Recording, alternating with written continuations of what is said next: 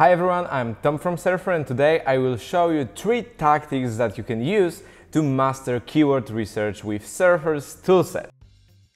Keyword research is an extremely important process that can make or break your SEO. They are data points beyond monthly search volumes that can help you decide if you want to target that keyword or not and this is I want to discuss today. Without proper keyword research, you won't achieve great SEO results. So let's have a look how Surfer's toolset can help you. Keyword Research Tool is a simple but powerful solution that gives you an enormous dose of inspirations. To access the data, pick your main query related to the topic you want to target and define location. Just after providing a phrase, you get a list of keywords with their volumes and what's massively important, the similarity score. What is similarity score and how do we count it, you ask? The similarity score will help you decide if you want to use a query as a secondary keyword or maybe target it with another content piece. It is presented as the percentage similarity between two SERPs.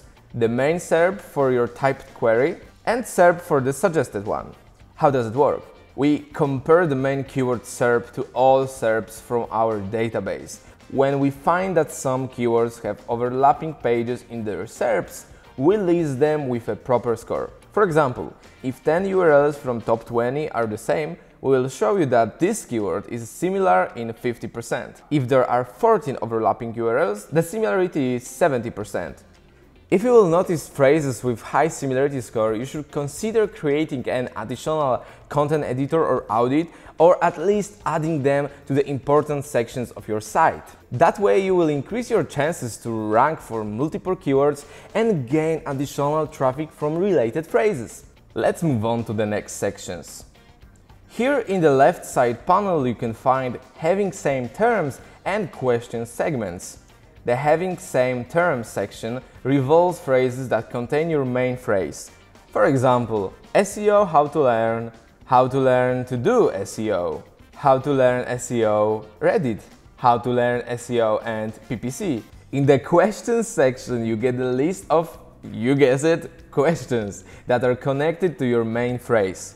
You can use them as headings in your content, for example. After all, they can be a good secondary keywords as well. By the way, you can dig much deeper with the analysis by adding keywords to the clipboard and making additional research. That way, the number of propositions will rapidly increase. The second way to do a keyword research with Surfer is to spy on your competitors. You can use keyword section in a SERP analyzer to check on what phrases your competitors rank. To get this data, go to SERP analyzer, pick a keyword, location, and run a query.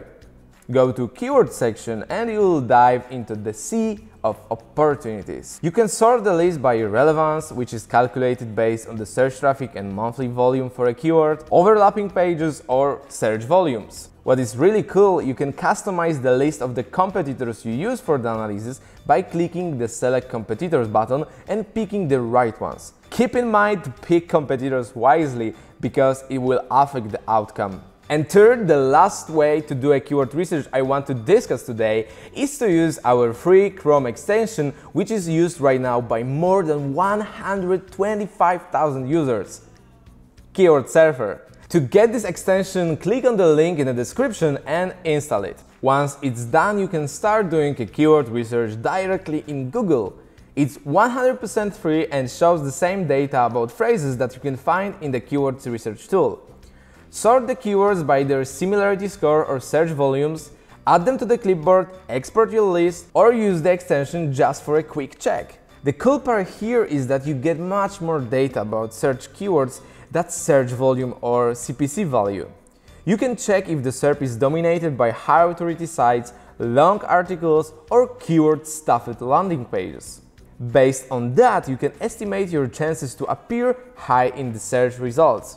Easy! I hope that after this video you get an idea on how you could use Surfer's toolset for a keyword research. By the way, are you using Keyword Surfer already? Let us know what do you think about the extension in the comments below. Don't forget to subscribe and as always, thanks for watching.